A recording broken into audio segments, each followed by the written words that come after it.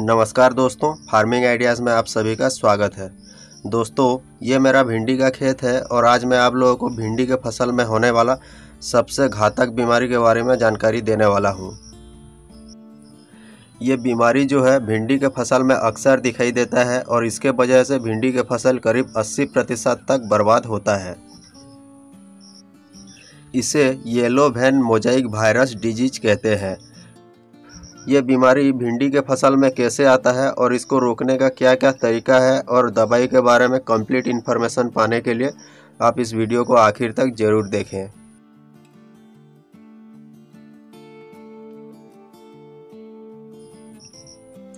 अक्सर आप लोगों ने भिंडी के फ़सल में इस तरह के पौधे देखे होंगे। ये पौधा कुछ दिन पहले हरा भरा था, लेकिन yellow vein mosaic virus disease के चलते इस पौधे का हालत ऐसा हो गया है। भिंडी के फ़सल में ये एक वायरल इन्फेक्शन है। यानी कि यह एक वायरस से संक्रमित बीमारी है। समय से पहले अगर आप इसका सही इलाज नहीं करते हैं तो ये धीरे धीरे करके पूरे खेत में फैल जाता है और पूरा का पूरा फ़सल बर्बाद हो जाता है। आप लोग इस बीमारी के सिम्टम अच्छे से देख पा रहे होंगे। जैसे कि इसका नाम येलो वैन मोजाइक वायरस है। इस बीमारी से ग्रसित पौधे के पत्तियाँ के सीरा, यानी कि भैंस पीले रंग के हो जाते हैं। फ़सल में जैसे ये बीमारी का अटैक होता है तो पौधे का बढ़वार रुक जाता है। ऊपर के पत्तियाँ छोटे छोटे हो जाते हैं, फूल आना बंद हो जाता है। इसमें लगने वाले फल भी छोटे हो जाते हैं और पीले पीले रंग के दिखाई देते हैं। इसका फल आप जैसे देख रहे होंगे कि बिल्कुल रफ हो चुका है, ये अब खाने लायक नहीं है। आसान भाषा में कहा जाए तो जिस पौधे में ये बीमारी लग जाता है, वो पौधा पूरी तरह से नष्ट हो जाता है और उसमें आने वाला प्रोडक्शन भी रुक जाता है। अब समझते हैं कि भिंडी के फ़सल में येलो वैन मोजाइक वायरस का ये बीमारी कैसे फैलता है।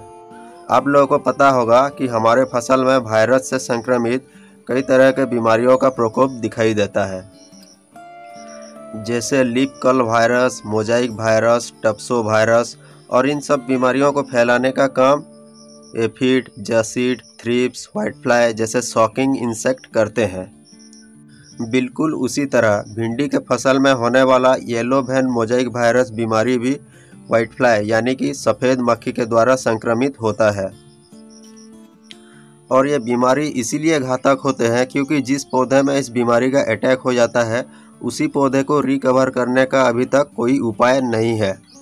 लेकिन जैसे ही ये वायरस जनित बीमारी का सिम्टम हमारे फ़सल में दिखाई देता है, उसी समय या फिर जितना जल्दी हो सके अगर सही दवाइयों का छिड़काव किया जाए तो इन बीमारी को फ़सल में संक्रमित होने से हम आसानी से बचा सकते हैं। येलो वैन मोजाइक वायरस बीमारी फ़सल में सफ़ेद मक्खियों के वजह से ही फैलता है।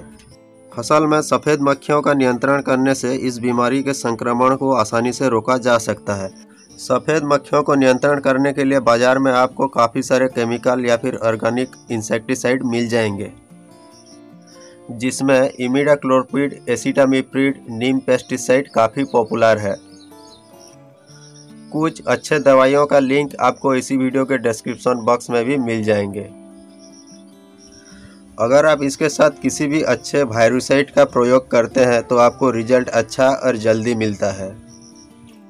क्योंकि कभी कभार फ़सल में बार बार दवाइयों का प्रयोग करने के बाद भी व्हाइट फ्लैग कंट्रोल नहीं होते, तब ये वायरोसाइड अपना काम करते हैं।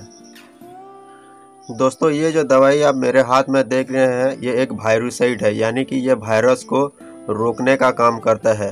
ये दवाई मैं पिछले पाँच सालों से यूज़ कर रहा हूँ और इसका काफ़ी अच्छा रिज़ल्ट देखने को मिलता है। आप लोगों को पता है कि जो वायरल इन्फेक्शन होता है जिस पौधे में इम्यूनिटी कम होता है, उस पौधे में सबसे पहले अटैक होता है। ये जो वायरोसाइड आप देख रहे हैं, इसमें एंटीवायरल प्रॉपर्टी होने के कारण ये पौधे के इम्यूनिटी पावर को बढ़ाने के साथ साथ वायरस को भी ब्लॉक कर देता है।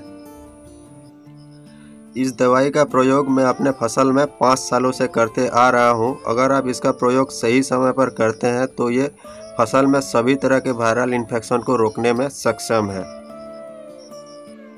कहने का मतलब इसका प्रिवेंटिव यूज़ करने से फ़सल में वायरस के इन्फेक्शन को ये आसानी से बचा देता है।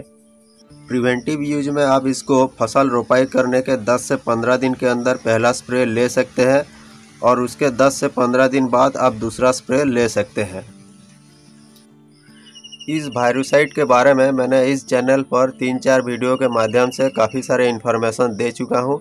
उन सारे वीडियोस का लिंक आपको इसी वीडियो के डिस्क्रिप्शन बॉक्स में मिल जाएगा। अब तक आप लोगों को यह बात आसानी से समझ में आ गया होगा कि भिंडी के फ़सल में yellow vein mosaic virus control करना मुश्किल नहीं है।